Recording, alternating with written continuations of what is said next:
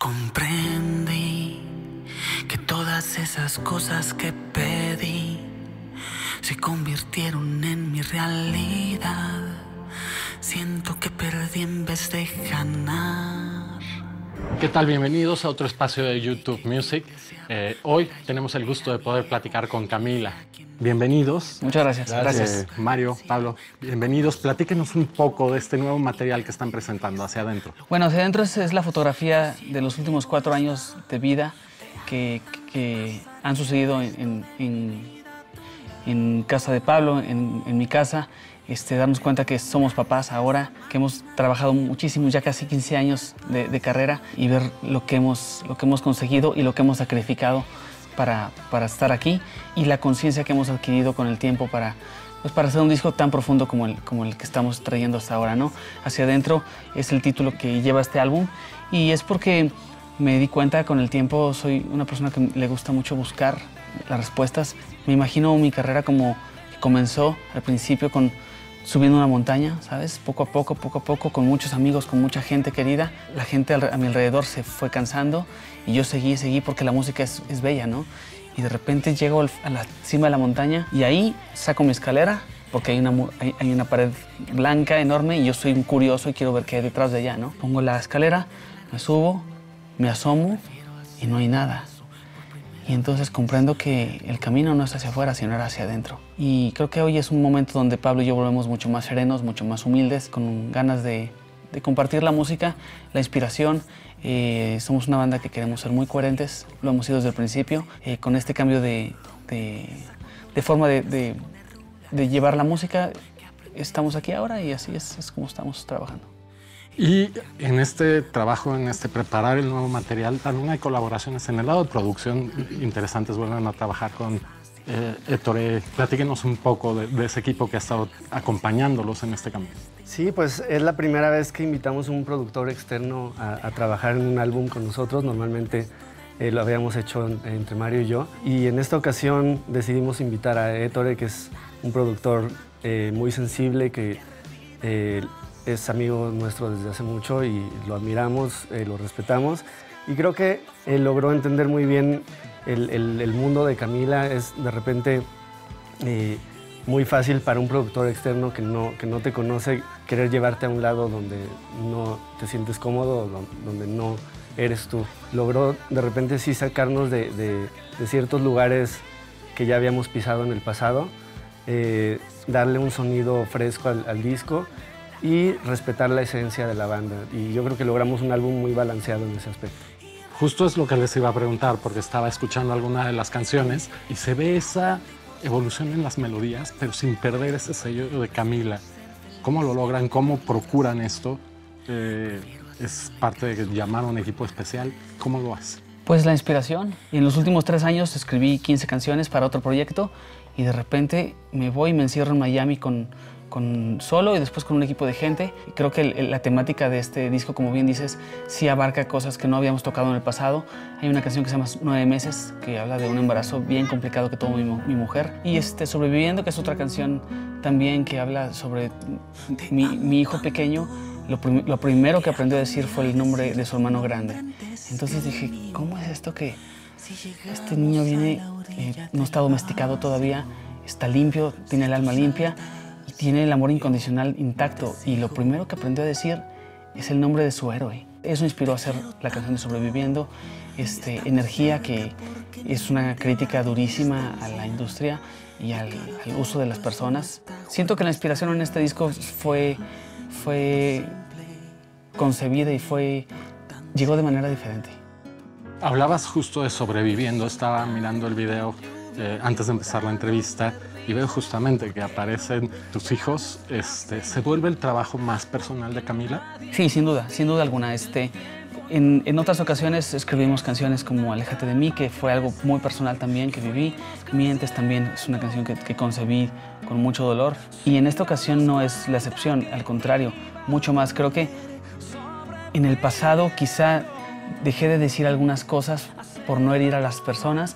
Y en esta ocasión dije, voy a decir lo que creo y lo que pienso con cariño, así.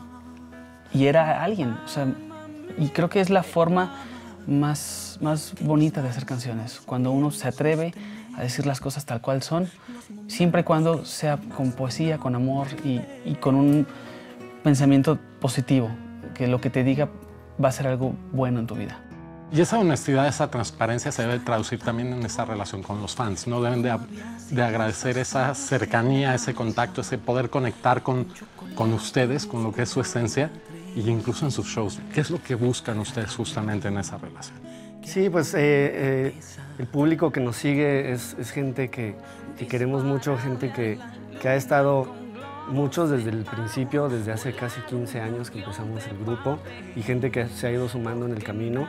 Y nos encanta eh, recibir ese cariño de la gente, el darnos cuenta que, que ese público ha crecido junto con, nosotros, que de pronto eran adolescentes, ahora ya son, ya son mamás, algunas eh, chicas que nos seguían desde el principio. Y se siente bien ver cómo el, público va creciendo con nosotros, va, vamos evolucionando y esa relación eh, creo que en los conciertos se siente muy cercana, nos damos cuenta que la gente nos va a ver por la música, no por nosotros. Ya que estamos hablando de la música en vivo, vienen justamente con esta gira de Cuatro Latidos, con Sin Bandera, fuertísima, tanto en México como en Estados Unidos. Al salir este trabajo, eh, ¿hay planes para una gira en separado o lo piensan combinar con este proyecto? Sí, la idea es que ahora que salió el disco podamos empezar una gira solos también. Tenemos conciertos hasta enero, febrero del año que entra con, con Sin Bandera, lo cual está muy lindo porque eh, se pueden hacer juntos, podemos hacer lugares que solos quizá no hubiéramos, compartimos público, donde Sin Bandera llegó o donde Camila llegó y la gente también se la pasa bien. De repente ver, ver cantar a cuatro amigos ahí arriba es una oportunidad bonita. Pero sí, como dices, sin duda queremos comenzar la gira de este nuevo disco. Creemos que el material y el contenido es, es profundo y tenemos ganas de cantarlo. En la gira con Sin Bandera tenemos el tiempo recortado porque son dos bandas, pero en la gira con Camila sin duda cantaremos mucho de este nuevo disco que nos tiene tan, tan felices. Bueno, estamos en YouTube. Tengo que hacer eh, esta pregunta. ¿Qué representan para ustedes las plataformas digitales? El poder llegar y conectar con, con el público a través de, de este tipo de plataformas. Pues son herramientas muy, muy poderosas que te permiten llegar a, a un público eh, global. Eh, es, es, increíble cómo puedes subir un video, subir una canción y está disponible para todo el mundo. Así que eso ha cambiado muchísimo la forma en la que nosotros mismos consumimos la música y la forma en la que eh, entregamos eh, nuestro material. Eh, se vuelve una oportunidad para conectar con más gente y, yo lo veo así como una forma de poder ver la respuesta en tiempo real, ver si a la gente le gustó o no, leer los comentarios. Se ha vuelto algo como mucho más personal y directo. Y muy, muy, o sea, hay mucho más gente subiendo contenido y eso hace que la exigencia sea mayor, ¿no? Cuando escribimos una canción sabemos que hay mucha gente más compitiendo, ahora sí está todo, todo el que quiera hacer una canción la puede subir. ¿De dónde les han llegado mensajes que, que les haya extrañado más a ese país o esa ciudad que nunca hubieras esperado? Uy, muchos lados. Pues, sí, de República Checa, lugares así que decimos cómo la gente pudo haber escuchado a Camila. Y sí, nos sorprende ver eh, cómo de tantos lugares nos, nos escriben y, y, te das cuenta que la música no tiene fronteras hoy en día. Además hay mucho latino en el mundo. Entonces de repente hay venezolanos, mexicanos por, que están en Tokio que no podrían tener acceso a un disco en otro momento de la historia de la música y ahora con un clic pueden recordar y sentirse en casa gracias a YouTube. De hecho, algo que nos sorprendió justamente hace un par de años fue que nos llevaron a hacer un concierto a Japón, cosa que jamás hubiéramos imaginado y, y eso es eh, la maravilla de, la música, cómo viaja y cómo no tiene límites. Pues yo voy a aprovechar, ya que estamos hablando de YouTube, para entregarles algo que es muy merecido.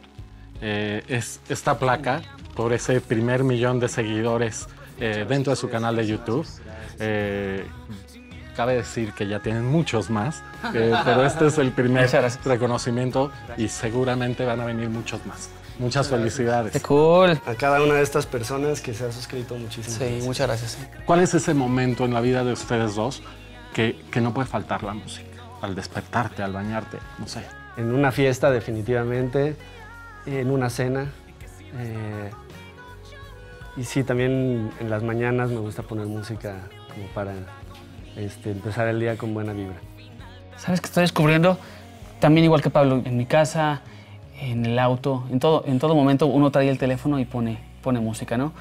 Pero hace poco compré el Google Home y, este, y, me- y- y mi hijo de cuatro años le habla a la maquinita. Entonces, de repente, escucho mucho más música que antes. El aparato hace que, que, los niños que no tienen acceso a un teléfono puedan eh, conectar con la música. Así que es un momento de la industria bella. Este, siento que, que el, el autor, el que hace canciones, tiene más oportunidad de mostrar su trabajo y los que hacemos muchas canciones, que algunas se nos quedan en el cajón, tenemos oportunidad de sacar las más posibles. Mario, y si armaras tu playlist ideal, ¿qué artistas o qué géneros encontraríamos en ese playlist? El otro día hice uno y tengo de todo, ¿eh? Tengo Rascal Flats, tengo em, James Morrison, tengo...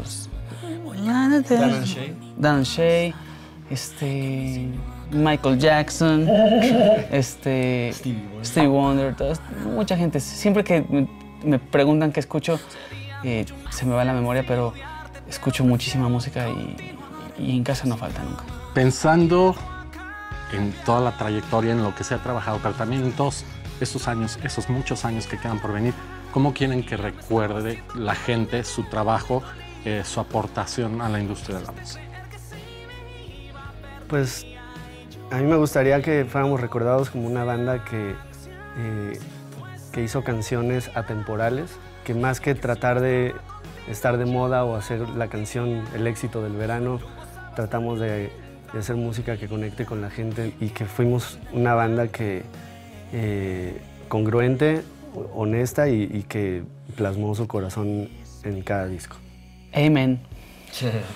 Tienen ahí las cámaras, tienen ahí a toda esa gente que nos sigue. ¿Qué mensaje le quisieran mandar? Pues a toda la gente que, que nos ha seguido por ya 15 años, gracias, como dijo Pablo, a cada, a cada persona que ha dado un clic para, para ver nuestra música, para escuchar. Este, gracias. Em, cuando comenzó Camila no teníamos ni idea de lo que sucedería. Realmente eh, comenzamos y lo seguimos haciendo por el puro amor al arte. Somos una banda, como dijo Pablo, que somos muy coherentes. Eh, no nos prostituimos, hacemos lo que de verdad nos gusta, lo que de verdad nos sale. Cuidamos mucho la inspiración y gracias a cada una de esas personas que ha hecho la música de Camila como el soundtrack de su vida. Nos sigue gente de distintos lugares. eh, este video va a estar en YouTube. Eh, la gente se preguntará en Sudamérica, en otros lugares, ¿cuándo los van a poder ver en vivo? ¿Algún plan? Bueno, es- estamos, eh, de hecho, estamos haciendo la gira de Cuatro Latidos por, eh, vamos a, a Perú, vamos a Colombia, acabamos de estar en Argentina, vamos a ir a Chile. Pueden ver todas nuestras fechas en, nuestra, en nuestro Facebook de, de Camila. Afortunadamente vienen muchos conciertos más con el lanzamiento de, de este eh, disco hacia adentro, así que esperamos ver a toda la gente por allá en Sudamérica y en muchos más lugares del mundo. Pues ahí la- las fechas que vienen y esa invitación también para que conozcan todo el trabajo de hacia adentro eh, directamente en YouTube Music. Soy Miguel Alba, un gusto tenerlos eh, con nosotros y hasta el siguiente espacio de YouTube Music. Gracias. Y gracias por esto. Está hermoso. Thank you.